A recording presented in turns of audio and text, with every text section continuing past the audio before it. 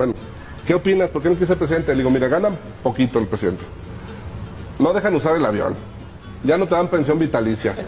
Ya, te, ya no debes vivir en los pinos. quiere, dije, pues, carajo? dije, Pues, ¿quién no. quiere? Quitaron todos los incentivos. A mí no, ese puesto no me interesa. Pero además, un Los panistas siguen sin entender por qué siguen perdiendo. Que alguien les explique.